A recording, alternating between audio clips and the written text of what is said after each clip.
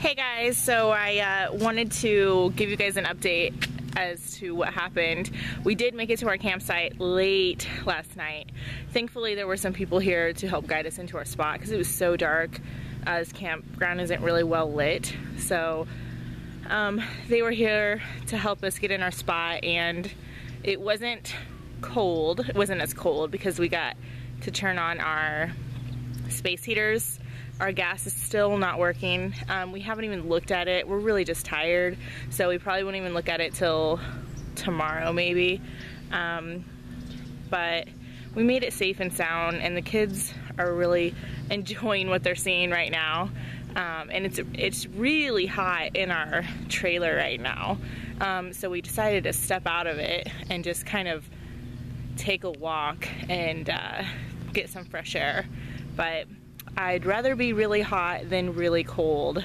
So at least we can deal with that a lot better. But here's what uh, we're, we're at. This is uh, Yogi Bear Park or something like that um, in Waller, Texas. But my kids woke up to this this morning after we went for a walk to go meet the uh, manager and they're totally spazzing out because they can't actually use it. But it's the, like a huge water park. So lots and lots of stuff to do whenever it gets warmer. They said they don't open it till March, so we still have two months. But um, they have lots of stuff. And then over there, I don't know if you can see it that well, that huge thing is a ginormous playground and then the, the big wall sitting in front of it is like a mo- an outside movie theater. And then the, these whole buildings are uh, arts and crafts so lots and lots of fun for the kids. And we've already seen a couple kids so that's nice. Um, this is a family park so um, we're really excited the kids can get out and see some stuff and we don't have to be yelled at for them being so loud. So, because it's kind of expected here. So, what kid wouldn't be excited to be here? But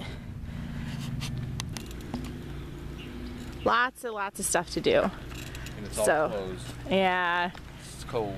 it's all closed. What do you think of the park that you're going to be working at? It's pretty nice. Nice cabins. I just looked at one of the cabins. They're uh, really luxurious, and I kind of wish I would be staying in one right now. But, yeah. Yeah, our son is enjoying finally getting to bike ride. So you can tell how nice it is. We're all just wearing uh, just a sweatshirt. So really happy that we made it safely and that it's a lot warmer. Since it's so nice out, I thought I'd show you guys what we're dealing with. This is our diesel truck. Um, we really like it and we haven't had any issues with it. So this is our rig. Um, she's pretty old, but definitely does the job and she's paid off. So it's debt-free living right here. So that was the main goal in buying her. Um, she does have a some issues that need fixed up.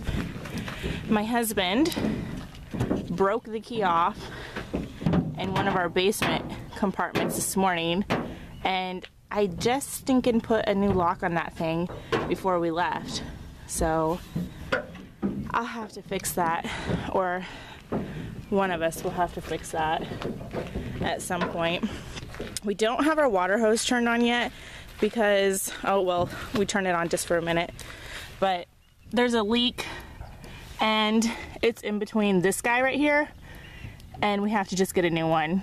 This is to connect two uh, female pieces, or sorry, two male pieces so that we can pop this off easily. But we don't have, we won't have water too much, but I'll show you the whole deal with the gas. So this right here is our gas line. So this little squiggly thing. And um, it's been like this since we bought the trailer. And there was a residential fridge in here and we took it out. So we bought this fridge off eBay and this is clearly the gas input. Um, so what we did was we took off this little safety thing that someone had put on here. It was just an extra thing. You don't have to have this on here, but it's a shut-off valve for the gas. So we just tried to connect this to this so that we could use the fridge while we're boondocking. And um, there was a leak in between the fittings. So we took it off and put this thing back on, but then we put this thing back on. There was a leak right here. So might possibly still be a leak here. Um, not quite sure how to fix that. But I think that's what's going on with the whole propane thing. So just because we messed with that a bit too much. So, what? And there's my little babies. Can you guys say hi? Curry, how do you feel about being here? Are you excited? Excited. You got to ride your bike today? Yes. Yes. Do you like riding your bike? Where'd you go? Okay. Staying nice and cool? Is the sun's hot? So that's where we're at right now. Those are the awesome, awesome steps that someone gave us at our last campsite, um, our campground, and they just wanted to use them for the duration of being at Amazon. And they're really nice and they work perfectly with our trailer. Um, so, got really just blessed with that.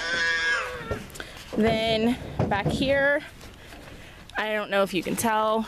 Clearly, those are not the trailer jacks. We do have trailer jacks right there, but um, they're broke. Not even sure if you can see them, but they're right there. And there's just no uh, piece like this to jack it up. That whole centerpiece is missing. And actually, my husband put these up this morning. Now that I'm looking at it, I think he put them in the wrong spot. So we'll have to rectify that. But here she is in her glory. Um, when we first bought it, it did have an awning, really large one, and we attempted to unroll it, but it got stuck um, stuck to where our doors couldn't even open. So we had to take it down. And it was molded and just disgusting, anyways. So here's the uh, steps we were talking about in a different video. My three year old took off somehow. I have no idea how he did that. But yep, we have a window open right now because it really is just hot in there. The sun's beating down in there. So that's good, right guys? We're not cold, yay!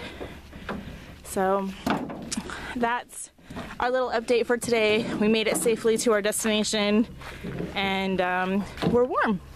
So thanks for watching guys.